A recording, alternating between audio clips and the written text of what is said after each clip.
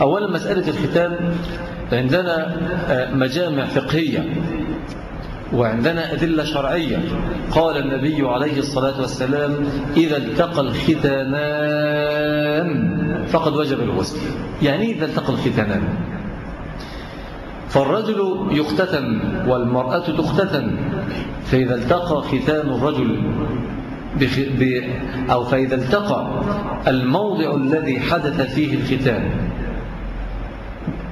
بالنسبة للرجل وبالنسبة للمرأة فقد وجب الوسط هذا هذا نص في المسألة.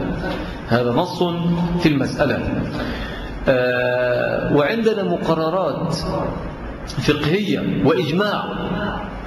إجماع العلماء على أن خفض النساء لا ينزل عن درجة الاستحباب.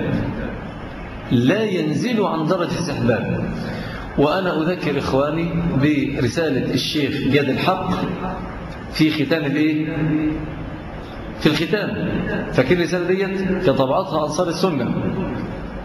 فالشيخ جاد الحق أتى بكل المذاهب ليثبت بأن إجماع المذاهب على مشروعية الختان وهذا رجل كان شيخا الأزهر. وأتى ونقل الإجماع في هذه المسألة. والمجامع الفقهية انتهت إلى هذه المسألة. فالذين جرموا الختان هم مجرمون. الذين يقولون بأن بأن الختان إجرام هم مجرمون. وهم يمشون في أهواء الشيطان حتما وقطعا. هم قطعا غير مطيعين لله عز وجل. فالختان بالنسبة للإناث في أقل درجاته أنه مشروع. أنه مشروع مستحب. لهم حيلة خبيثة أنهم قالوا بأن الناس قالوا بأن الختان إجرام لكنه خفض. يا إلهي هذا تلاعب شديد بالألفاظ.